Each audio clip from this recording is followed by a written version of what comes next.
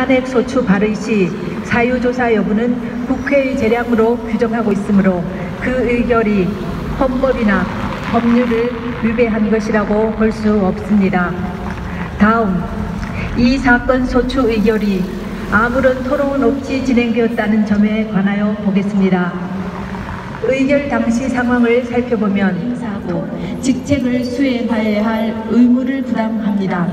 그러나 국민의 생명이 위협받는 재난 상황이 발생하였다고 하여 피청구인이 직접 구조활동에 참여하여야 하는 등 구체적이고 특정한 행위 의무까지 바로 발생한다고 보기는 어렵습니다. 또한 피청구인은 헌법상 대통령으로서의 직책을 성실히 수행할 의무를 부담하고 있습니다. 그런데 성실의 개념은 상대적이고 추상적이어서 성실한 직책 수행 의무와 같은 추상적 의무 규정의 위반을 이유로 탄핵 소추를 하는 것은 어려운 점이 있습니다.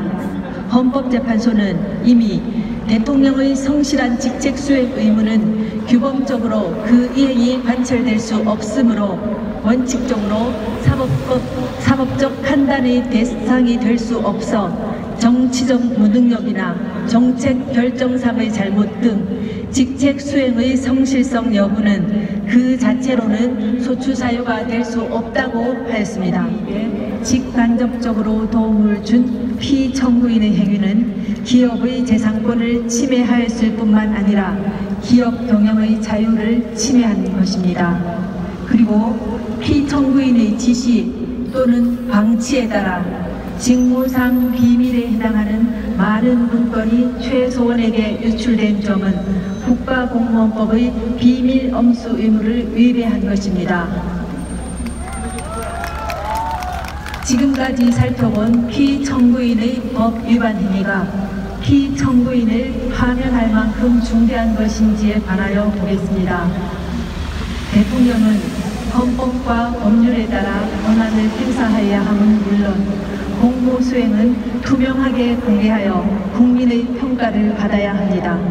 그런데 피청구인은 최소원의 국정 개입 사실을 철저히 숨겼고 그에 관한 의혹이 제기될 때마다 이를 부인하며 오히려 의혹 제기를 비난하였습니다. 이로 인해 국회 등 헌법기관에 의한 견제나 언론에 의한 감시 장치가 제대로 작동될 수 없었습니다. 또한 피청구인은 미르와 K스포츠 설립, 플레이그라운드와 더 블루케이 및 KD 코퍼레이션 지원 등과 같은 최서원의 사익 추구에 관여하고 지원하였습니다. 피청구인의 헌법과 법률 위배 행위는 재임 기간 전반에 걸쳐 지속적으로 이루어졌고 국회와 언론의 지적에도 불구하고 오히려 사실을 은폐하고 관련자들을 단속해 왔습니다. 그 결과 피청구인의 지시에 따른 안종법, 김종, 정호성 등이 부패 범죄 혐의로 구속 기소되는 중대한 사태에 이르렀습니다. 이러한 피청구인의 위헌 위법 행위는 대의민주제 원리와 법치주의 정신을 훼손한 것입니다.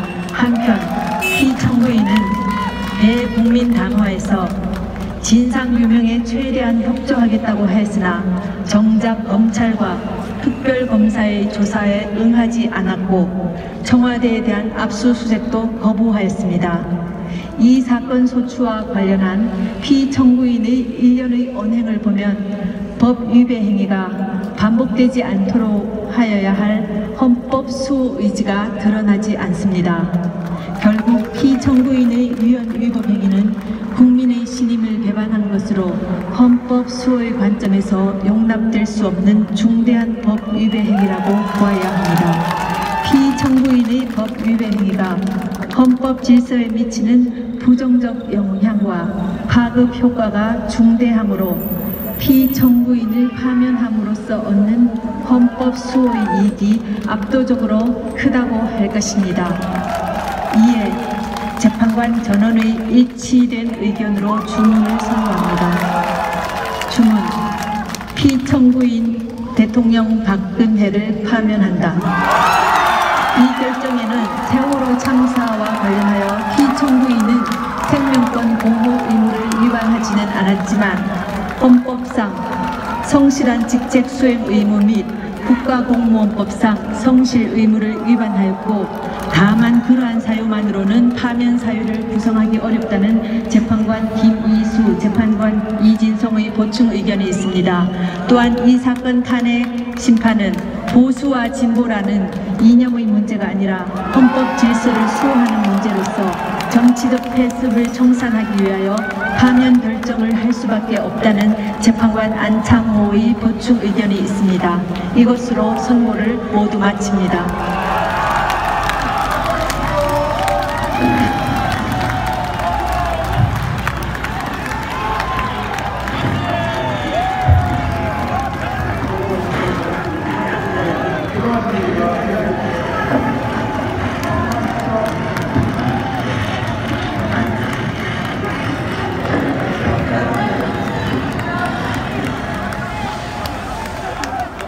네.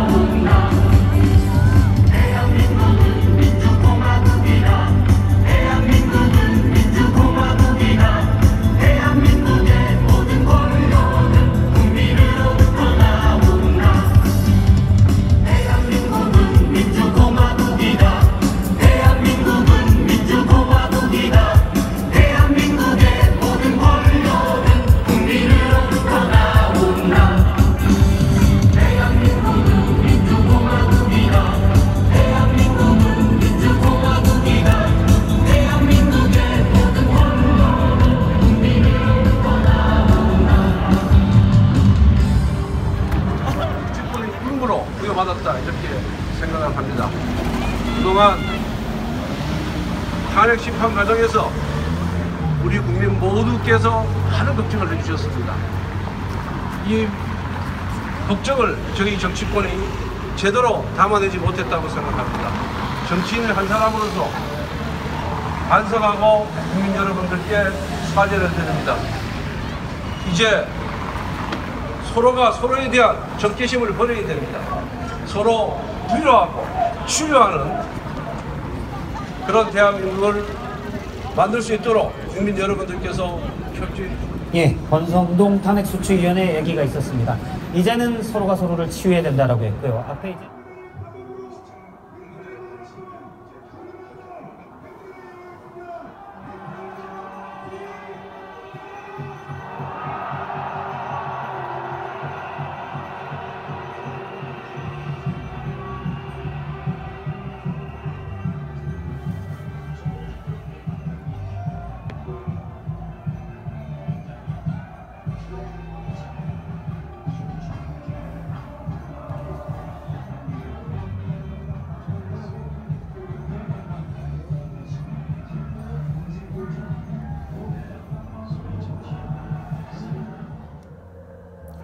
집으로 돌아와서 창밖으로 내다본 어, 오늘의 모습입니다. 어, 여기가 탄핵 지지 에, 촛불 집회의 마지막 모습이고요. 어, 조금 옆에 여기가 헌법재판소입니다. 그리고 조금 더 옆에는 어, 청와대가 있죠. 청와대가 있죠. 네. 예, 이렇게 해서 이 탄핵 정국은 거의 마무리가 되어가고 있는 것 같습니다.